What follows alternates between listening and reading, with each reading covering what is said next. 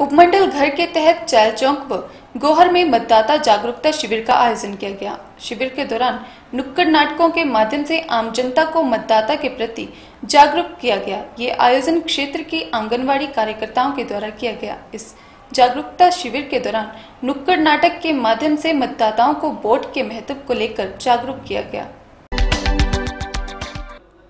उपमंडल घर के तहत चैल चौक व गोहर में मतदाता जागरूकता शिविर का आयोजन किया गया। शिविर के दौरान नुक्कड़ नाटकों के माध्यम से आम जनता को मतदान के प्रति जागरूक किया गया। ये आयोजन क्षेत्र के आंगनवाड़ी कार्यकर्ताओं द्वारा किया गया। जिला में शुरू किए गए कार्यक्रम के तहत आयोजित इस जागरूकता शिविर के दौरान नुक्कड़ नाटक के माध्यम से मतदाताओं को वोट के महत्व को लेकर जागरूक किया गया और आगामी 19 मई को प्रदेश में होने वाले लोकसभा चुनावों के दौरान 18 वर्ष की उम्र पार करने वाले सभी मतदाताओं से मत का प्रयोग करने की अपील की गई। इस अवसर पर एस गोहर राजेंद्र कुमार, कार्यकारी अधिकारी सीमा शर्मा ने मतदाताओं से वोट की अहमियत को पहचानने का आग्रह किया और सभी से मतदान करने की अपील की।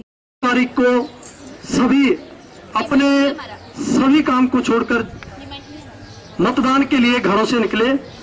कोई भी ऐसा व्यक्ति घर में ना रहे या दुकान में ना रहे जो अपने मत का प्रयोग ना करें, मैं चुनाव आयोग की तरफ़ से पुनः आप सबसे एक बार अपील करता हूँ कि आप 19 तारीख को ज़्यादा से ज़्यादा संख्या में मतदान के लिए अपने अपने मतदान केंद्रों में अवश्य पधारें। सभी का बहुत बहुत धन्यवाद। लोकसभा चुनाव 2019 के, जो इसके लिए स्वीप एक्टिविटीज़ करवाई जा रही है, बाल विकास परियोजना, गोहर की कार्यकर्ताओं ने। आज गोहर में और उसके बाद यहाँ चैल चौक में एक नुक्कड़ नाटक का आयोजन किया।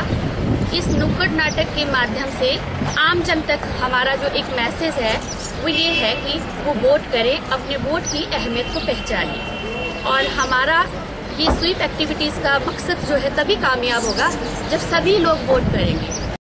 आंगनबाड़ी कार्यकर्ताओं द्वारा मतदाताओं को जागरूक करने के लिए दिखाए गए नुक्कड़ नाटक की क्षेत्र के लोगों ने प्रशंसा की।